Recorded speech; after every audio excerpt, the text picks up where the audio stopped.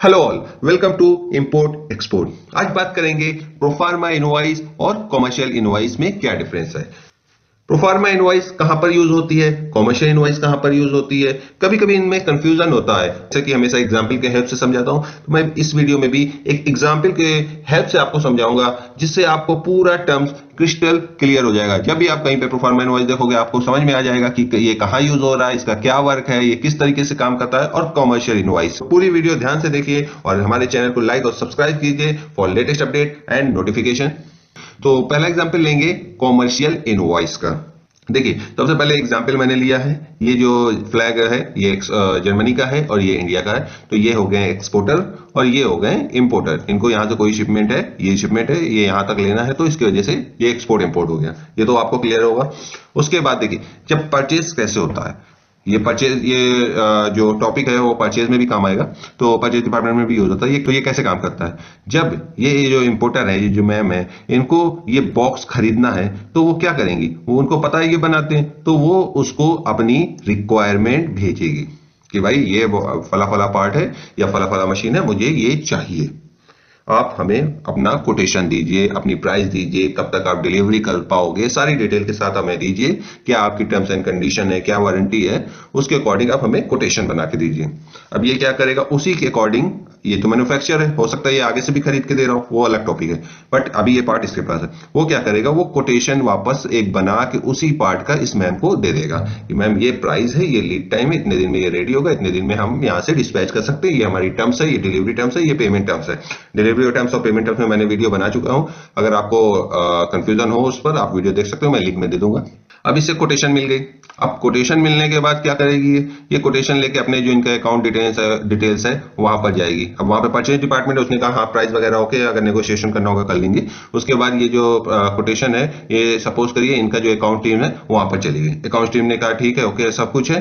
तो अब ये जो परचेज वाले ये एक परचेज ऑर्डर रिलीज़ करेंगे। क्या रिलीज़ करेंगे? परचेज ऑर्डर देंगे किसको? एक्सपोर्टर को। यानी कि जर्मनी वाले जो एक्सपोर्टर है। अब वो परचेज ऑर्डर में पूरी टर्म्स एंड कंडीशन पूरा सब कुछ डिटेल वगैरह लिखी होगी।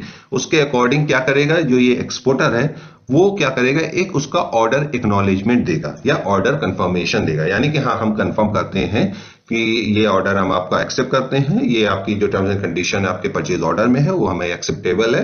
वो स्टैम्प वगैरह करके दे देगा और हम फला फला तारीख को आपका शिपमेंट डिस्पैच करेंगे। उसमें लीड टाइम वगैरह भी होती है डिलीवरी टाइम्स भी होगा, किस तरह से वो जाएगा शिपमेंट तो अभी क्या है, अब सपोज़ कीजिए पेमेंट टर्म पेमेंट टर्म्स क्या है, वो थर्टी डेज़ है। मतलब सिक्सटी डेज़ है। मतलब आप जब शिपमेंट मूव करोगे या शिपमेंट मूव करने से पहले हमें एक इन्वाइस दोगे जिसपे हम पेमेंट करेंगे। क्योंकि ये शिपमेंट बेच रहा है, इसको पेमेंट चाहिए।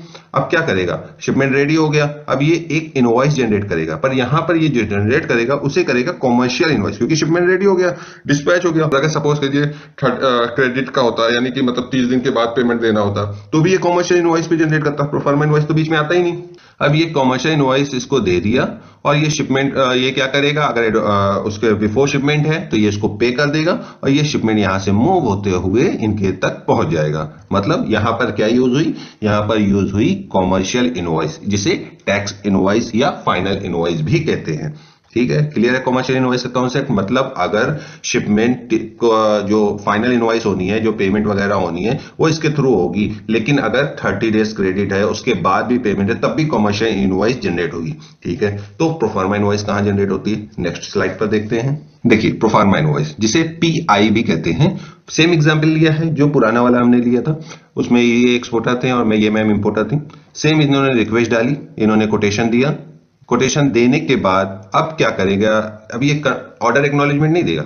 अब इसने कोटेशन दिए था तो कोटेशन जैसे ही ये रिसीव किया, इसको प्राइस वगैरह ओके हुआ, इसने जब परचेज ऑर्डर दिया, अब ऑर्डर एक्नॉलेजमेंट या ऑर्डर कंफर्मेशन नहीं देगा। ये इसको देगा प्रोफार्मा इनवाइस प्रोफार्मा इनवाइस क्यों देगा? देखिए, यहाँ पर क्या है? पेमेंट टर्म मान लीजिए एडवांस है। मतलब आप पैसा दोगे, तब आपका जो सामान है, वो एक हफ़्ते, दो हफ़्ते, तीन हफ़्ते बाद तैयार होगा, तब हम डिस्पैच करेंगे। कुछ कंडीशन में ये भी होता है अच्छा ठीक है, आप तीस एडवांस दे दो, सत्तर शिपमेंट निकलने से पहले देना। जैसे मैंने आपको पिछले इनवॉइस में बताया था निकलने से पहले कॉमर्शियल इनवॉइस में देते हैं। ठीक है? तो यहाँ पे एडवांस की बात आ गई। एडवांस में प्रोफार्मा इनवॉइस लगता है, क्योंकि उसे बैंक डिटेल्स चाहिए। तो एक फॉर्मल लेटर होता है, वो अपने लेटर हेड सबका अपना अपना लेटर हेड होता है, या उस पर बनाते हैं, या कोई तरीके का फॉर्मेट होता है, या टैली से भी बनता है, बहुत से तरीका होता है। खैर तो वो क्या हो गया, इसने अपनी बैंक डिटेल दे दी, कि भाई आप बैंक डिटेल दोगे, तब हम ऑर्डर एक्नॉलेज करेंगे, तब तक हम आपको शिपमेंट को कोई भी ऑर्डर एक्सेप्टेंस नहीं करते। हम पीओ को नहीं समझते। उसके बाद ये क्या करेगा? अपने अकाउंट टीम की हेल्प से क्या करेगा? इसे पे कर देगा। पे करने के बाद, एक दो दिन के बाद जब इसको पेमेंट इसके अकाउंट में रिसीव होगी, क्योंकि ये डिटेल इसको भेज देगा कि भाई हमने पेमेंट कर दी, तब जाके ये इसको एक्नॉलेजमेंट करेगा, ठीक है, हम ऑर्डर एक्सेप्ट करते हैं फला फला तारीख तक आपका शिपमेंट रेडी हो जाएगा। अब शिपमेंट रेडी हो गया। शिपमेंट रेडी होने के बाद अब शिपमेंट निकलना है तो शिपमेंट किस पे निकलेगा? कॉमर्शियल इनवॉइस पे निकलेगा, यानी कि फाइनल इनवॉइस पे निकलेगा। अब ये एक्सपोर्टर जो है, वो फाइनल इनवाइस यानी कॉमर्शियल इनवाइस जनरेट करके इस शिपमेंट को यहाँ से डिस्पैच करेगा और वो शिपमेंट जो है यहाँ तक पहुँच जाएगा। बिल्कुल क्लियर है। पिछले एग्ज़ाम्पल में कॉमर्शियल इनवाइस रिलीज़ हुआ था।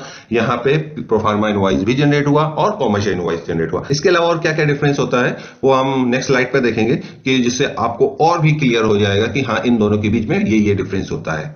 यहाँ पर मैंने दो कॉलम बनाया, एक टैक्स इनवाइस जिसे कॉमर्शियल इनवाइस या फाइनल इनवाइस कहते हैं। दूसरी तरफ़ पीआई जिसे प्रोफार्मा इनवाइस भी कहते हैं, ठीक है? या एडवांस पे इनवाइस भी कहते हैं इसे। तो टैक्स इनवाइस में मतलब क्रेडिट में भी चलते आता है और पीआई का मतलब इसे सिर्फ़ एडवांस में चलता है। पेमेंट टैक्स इनवॉइस पे हो सकता है, बताइए। टैक्स इनवॉइस पे पेमेंट हो सकता है, लेकिन ये जनरेट होती है फाइनल पे, जब शिपमेंट निकलना होता है। पीआई में पेमेंट हो सकता है ऑफ़ कोर्स ये तो एडवांस पेमेंट के लिए ही है आपको एग्ज़ाम्पल समझ में आ गया होगा। आपको रिवीजन हो रहा होगा। अब ये क्या है, ये फाइनल इनवॉइस है, और इसे हम टेम्परेरी इनवॉइस भी कह सकते हैं। कस्टम क्लियरेंस किस पे होगा? फाइनल इनवॉइस पे होगा या पीआई पे होगा? कस्टम क्लियरेंस हमेशा टैक्स इनवाइस जो फाइनल इनवाइस है, जिससे शिपमेंट मूव हो रहा है, जो शिपमेंट के साथ है, उसके उसी के साथ होता है। कस्टम क्लियरेंस में प्रोफार्मा इनवाइस का कोई भी रोल नहीं है। ये सिर्फ़ रोल है एडवांस पेमेंट और अकाउंट डिपार्टमेंट अपने रेफरेंस के लिए रखता है। टैक्स इनवाइस पे टैक्स लगता है, बिल्कुल टैक्स लगता है। प्रोफार्मा इनवाइस पे कोई टैक्स नहीं लगा, कोई जीएसटी नहीं लगेगा, क्योंकि ये तो सिर्फ़ एडवांस करने के लिए ना, कि उसको पेमेंट मिल गया, अब उस अपने कंट्री में क्या दे रहा है एक्सपोर्टर वो उसकी हेडेग हम यहाँ पे इंपोर्टर की बात कर रहे तो इंपोर्टर के केस में कोई टैक्स नहीं लगेगा। टैक्स इनवाइस के ऊपर क्या इंश्योरेंस हो सकता है? बिल्कुल हो सकता है। टैक्स इनवाइस जब शिपमेंट के साथ मूव हो रही है तो इंश्योरेंस तो होना ही होना है। और ये जो शिपमेंट के साथ मूव नहीं हो रही है तो इसका मतलब इसमें इंश्योरेंस नहीं है।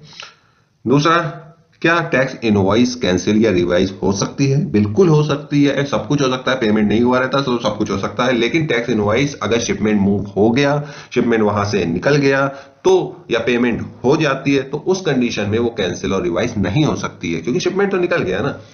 और पीआई के केस में क्या शिपमेंट तो नहीं निकला है? खाली जनरेट हुआ है तो इस कंडीशन में बिल्कुल कैंसिल हो जाती है और ज़्यादातर कैंसिल हो। जाती है पेमेंट नहीं आया, तभी समझ लो आपको कैंसिल हो गया। और टाइम टाइम पे रिवाइज भी हो सकती है। टैक्स इनवाइस पे शिपमेंट मूव हो सकता है, जैसे मैंने पहले बताया शिपमेंट मूव हो सकता है और पीआई पे शिपमेंट नहीं मूव हो सकता है। H S code tax invoice में मैंडेटरी है, बिल्कुल इनवाइस में मैंडेटरी अगर इंपोर्ट हो रहा है तो एच एस एन कोड लगेगा ही लगेगा, वो अलग टॉपिक है।